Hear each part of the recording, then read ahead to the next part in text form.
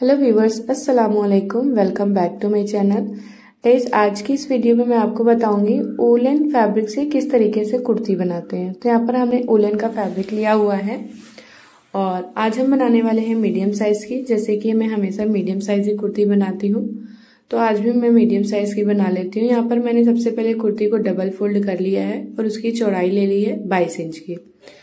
अब इसकी लंबाई हम ले लेते हैं आपको कितनी कुर्ती की लंबाई पहनना है, उस हिसाब से लेना होगा। तो यहाँ पर हमें कुर्ती की जो लंबाई पहनना है, वो ankle length ankle length 48 52 inch में आ जाती है। तो यहाँ पर एक बार हमें फिर से फोल्ड कर लेना है। ये अब हमारा हो गया है चार फोल्ड में फैब्रिक इसको हम अच्छे से रख लेंगे। अब इसको एक बार हम फिर से माप लेते हैं। इसकी जो मार्किंग है, वो है ग्यारह इंच की चार बार फोल्ड में। अब जो हमारा एक्स्ट्रा वाला फैब्रिक होगा, उसको सब कट करके हम हटा देते हैं। चलिए फटाफट कट कर लेते हैं। तो उलन फैब्रिक से आपको और कुछ जो सीखना हो तो आप मुझे कमेंट सेक्शन में बताइएगा, मैं आप लोगों के लिए वो वीडियो बनाऊँगी। कोशिश यही रहेगी कि आप लोग हमारी वीडियो देखें, आप लोगों को समझ में आए। मैं इसी तरीके से वीडियोस बनाती हूँ, क्योंकि बिगनर्स जो होते हैं वो उनको बहुत कम चीज़ें आती है बनाना और समझ में बहुत कम चीज़ें आती है। तो इसलिए मैं सोचती हूँ बहुत ही आसान से तरीके से आप लोगों को बताऊँ। फिर उसके बाद में तो आप खुद ही धीरे धीरे सीख जाओगे। तो यहाँ पर देखिए, हमने अब मार्किंग करना स्टार्ट करना है। गले की जो हमने चौड़ाई ली है, वो ली है चार इंच की और जो शोल्डर यानी कि कंधा जो लिया है, वो भी चार इंच का हमने रखा हुआ है। अब हम यहाँ पर आर्म होल यानी कि मुट्ठी का निशान लेते हैं साढ़े छः इंच पे और कुछ इस तरीके से मार्किंग कर लेते हैं। क्योंकि हमने जो चौड़ाई की मार्किंग की है, वो पहले ही कर ली है।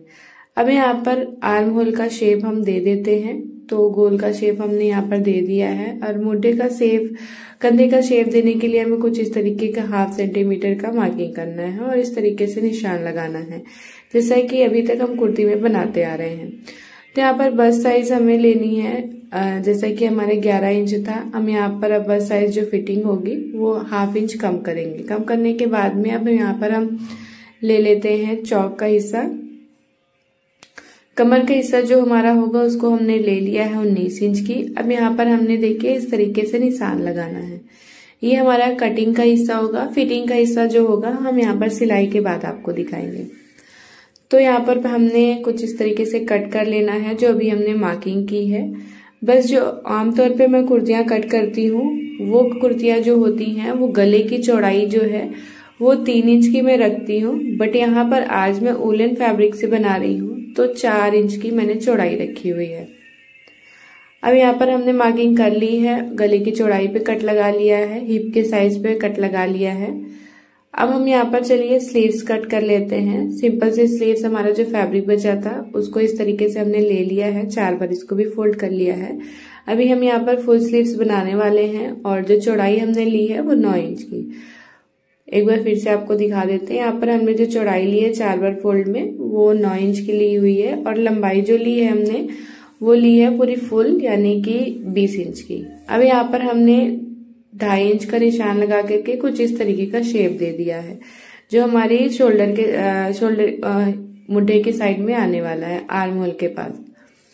तो यहाँ पर हमने कुछ इस तरीके से स्लीव्स का निशान लगा करके कट लिए कट लगा लिया है। अब हम आगे के हिस्से की फिटिंग के हिस्से पे लगा लेते हैं। तो फिटिंग का जो हमारा हिस्सा होगा, वो पाँच इंच का हमने रखा हुआ है। अब इस तरीके से हमें लाइन ड्रॉ कर लेनी है।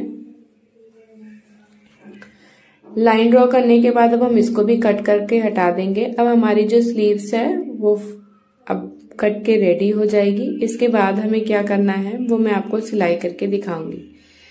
इसके अंदर आप लाइनिंग भी लगा सकते हो अदरवाइज़ आप ऐसे भी बना सकते हो, कोई इश्यू नहीं है। तो यहाँ पर हमारी स्लीव्स भी रेडी हो चुकी है कट करके। अब चलिए मैं आपको बनाना सिखाती हूँ।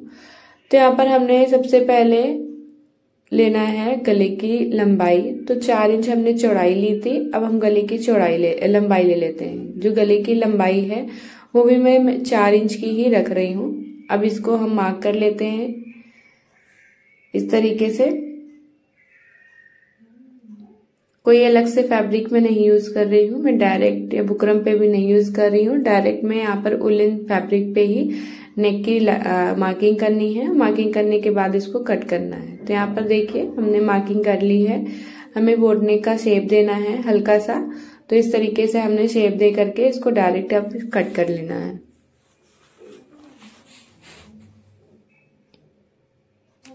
ये मैं आपको मीडियम साइज़ के हिसाब से बता रही हूँ। जो भी मीडियम साइज़ वाले होंगे, वो इतनी ही रखेंगे। अब यहाँ पर हमारा जो नेक है, वो कट करके रेडी हो चुका है। अब चलिए हम इसको नेक को बना करके रेडी कर लेते हैं। उसके लिए हमें एक अलग से फैब्रिक लेना होगा। उसके बाद में हमारी जो कुर्ती है, उसको इस तरीके से रखेंगे। रखने के बाद में जिस शेप में हमारा गले की डिज़ाइन कटी हुई है, उसी शेप में हमको इसको सिलाई लगानी है। तो ये देखिए, हमने जिस तरीके से कट किया था गला, उसी तरीके से हमने सिलाई लगानी है। सिंपल सा इजी सा स्टेप होता है और बहुत ही आसान से गले गले में फिनिशिंग के साथ में बन जाता है। तो ये बहुत ही आसान है, आप लोग ट्राई करना। तो अब जो एक्स्ट्रा वाला फैब्रिक है, उसको हम कट करके हटा देंगे। तो मैं यहाँ पर उलेन का फैब्रिक यूज़ कर रही हूँ। आप भी अगर इस तरीके से आपके पास उलेन का फैब्रिक हो तो आप इसी तरीके से कुर्ती बना सकते हो अपने लिए। तो यहाँ पर हमने एक्स्ट्रा वाले फैब्रिक हटा दिए हैं। इसमें कोई भी कट नहीं लगाना है।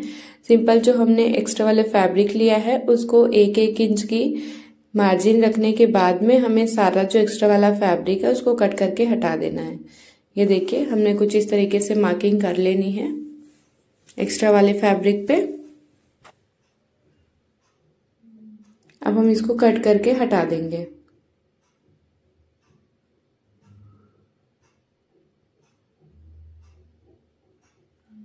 अब हमने इसको कट करके हटा दिया है। अब इसी तरीके से हमें दूसरे वाली कुर्ती पे, बैक वाली कुर्ती पे भी बना लेना है।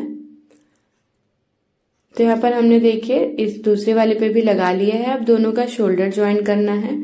दोनों का शोल्डर का जो हिस्सा है, वो हमें देखना है सिलाई इक्वल हो, उसके बाद हमें शोल्डर को ज्वाइन करना है। अब इसी तरीके से दूसरा वाला भी शोल्डर हमें ज्वाइन कर लेना है। बहुत ही इजी सा स्टेप है। अब इसके बाद में क्या करना है? मैं शोल्डर ज्वाइन करने के बाद आपको बता देती हूँ।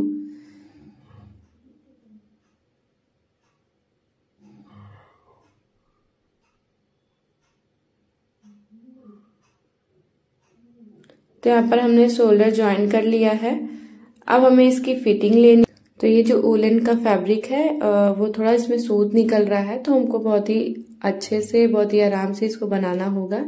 जो सूत वगैरह निकल रहा है, उसको कट करते हुए फोल्ड कर देना अब यहाँ पर हम नेक नेक जो है, उसको फोल्ड कर लेते हैं कुछ इस तरीके से। एक ही सिलाई लगानी होगी, और इसको अंदर की तरफ़ फोल्ड करते जाना है और सिलाई लगाते जाना है।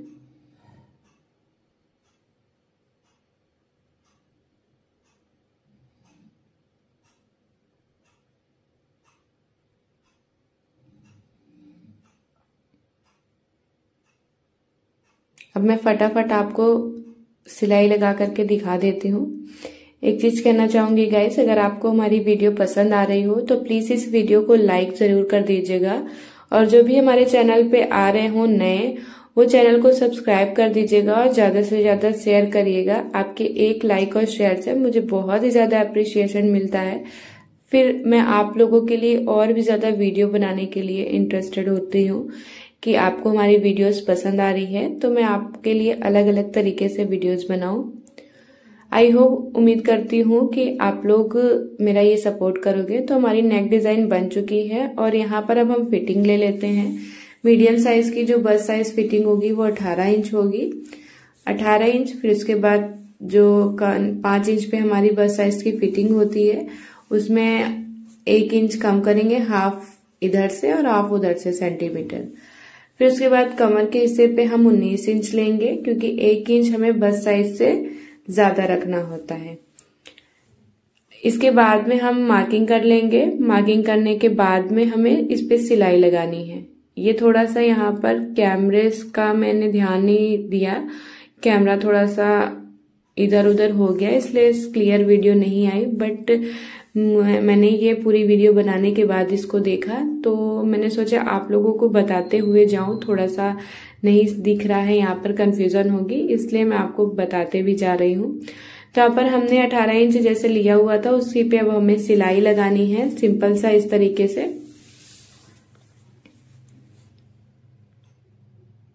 ये देखिए, हमने सिलाई लगा ली है फिटिंग की। दोनों साइड में हमने इसी तरीके से सिलाई लगाना है। अब इसके बाद में हमें स्लिट बनानी है। तो स्लिट मैंने आपको कई बार बताई हुई है। मैं यहाँ पर स्लिट और बॉटम का हिस्सा बना करके आप लोगों को दिखाती हूँ कि किस तरीके से कुर्ती का स्लिट आएगा। सिंपल सा स्लिट होना चाहिए, जैसा कि हम कुर्तियों में बनाते हैं, क्योंकि यहाँ पर मैंने आपको पहले ही वीडियो में बताया है कि कुर्ती मैं आपको बताने वाली हूँ ओलन फैब्रिक से। तो यहाँ पर देखिए हमने दोनों साइड की स्लिट बना ली है। साथ ही मैंने बॉटम का हिस्सा भी बना लिया है। बॉटम का हिस्सा भी बस फोल्ड करना है। अब यहाँ पर स्लीव्स जो है सिंपल सी मैंने बनाई थी। तो आ, मैंने बनाते हुए आपको नहीं दिखाया क्योंकि वीडियो बहुत ही लेंदी हो जाएगी और स्लीव्स भी लगा लिया है।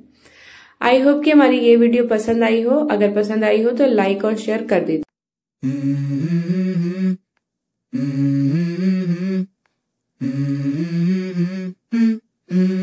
Go. I wake up to a little bit of drool on my pillow, feel like it's gonna be a bad day. Yeah, I'm tired of shit, and the coffee ain't hit yet, damn, ain't that great. I don't wanna go to work, cause my boss is a jerk, and I'm